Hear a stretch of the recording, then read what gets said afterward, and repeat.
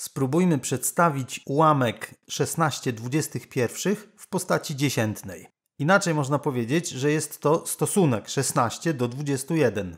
Jeszcze inaczej można powiedzieć, że jest to dzielenie 16 podzielone przez 21. W takim razie podzielmy 16 przez 21.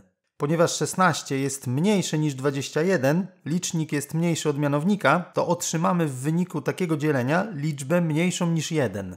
Ponieważ wiemy, że wynik będzie mniejszy niż 1, to możemy też dla ułatwienia dopisać zera po przecinku, na przykład na kolejnych trzech miejscach. Możemy zapisać dzielenie pisemne w taki sposób. Jeżeli będziemy musieli zaokrąglić wynik, to powiedzmy, że zaokrąglimy do najbliższych tysięcznych części jedności. Wtedy trzy zera wystarczą. Te dwa zapisy są równoważne. Jeżeli taki zapis bardziej Wam pasuje, to możecie dzielić w ten sposób. Ja wykonam to dzielenie tak, jak to się najczęściej robi, czyli tak jak tutaj. Tych zer tutaj nie ma, ale będziemy je spisywali tak, jakby tutaj były. No to do dzieła. 21 mieści się w 1 0 razy.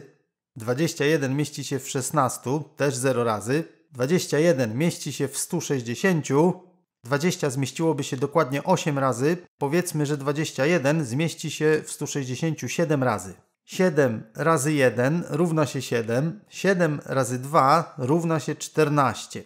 Jeżeli teraz odejmiemy, to powinniśmy mieć resztę po odejmowaniu mniejszą niż 21. Jeżeli będzie po odejmowaniu więcej niż 21, to powinniśmy siódemkę zamienić na większą liczbę, na przykład na 8 tak żeby po pomnożeniu razy 21 otrzymać liczbę mniejszą niż 160, ale żeby po odejmowaniu reszta nie była większa niż 21. No to odejmujemy i mamy 13. To dobrze, bo 13 jest mniejsze niż 21. Odejmowanie wykonałem szybko w pamięci, ale możemy wykonać je też pisemnie. 0 jest mniejsze niż 7, więc pożyczymy z miejsca dziesiątek jedną dziesiątkę. Wtedy w kolumnie jedności będzie 10 zamiast zera kolumnie dziesiątek zamiast 6 dziesiątek będzie 5 dziesiątek, 10 odjąć 7 to 3, 5 odjąć 4 to 1 i 1 odjąć 1 to 0. Spisujemy 0.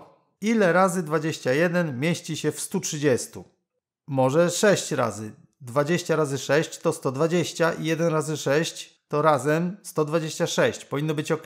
Wpiszmy 6. 6 razy 1 to 6. 6 razy 2 to 12, razem 126. Odejmujemy i znowu możemy to szybko odjąć w pamięci albo pisemnie z pożyczaniem. Jeżeli pożyczymy, to tu będzie 10. Z trzech dziesiątek zabraliśmy jedną, więc zostaną dwie dziesiątki. 10 odjąć 6 to 4, 2 odjąć 2 to 0, 1 odjąć 1 równa się 0. Spisujemy kolejne 0. 21 mieści się w 40 prawie dwa razy, ale 2 razy 21 to 42, więc zmieści się tylko jeden raz. 1 razy 21 równa się 21.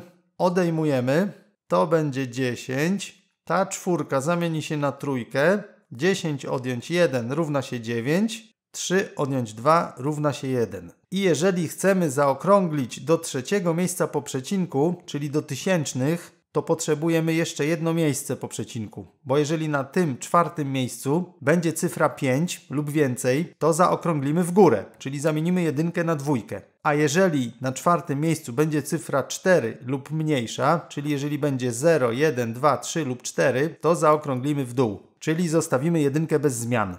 No to spiszmy jeszcze raz 0. 21 mieści się w 190 chyba 9 razy. 10 razy to by było 210, odjąć 21 to jest 189. Powinno być ok. 9 razy 1 równa się 9, 9 razy 2 równa się 18. Odejmujemy, to chyba w pamięci można. 190 odjąć 189 to 1. Możemy tak spisywać zera w nieskończoność, ale mamy już wystarczająco dużo cyfr, żeby zaokrąglić do najbliższych tysięcznych. Cyfra na czwartym dziesięciotysięcznym miejscu to 9. 9 jest większe równe 5. Czyli zaokrąglimy trzecie miejsce po przecinku w górę. Czyli 16 21 równe jest w przybliżeniu 0,762. Zamiast jedynki dwójka. 0 i 762 tysięczne.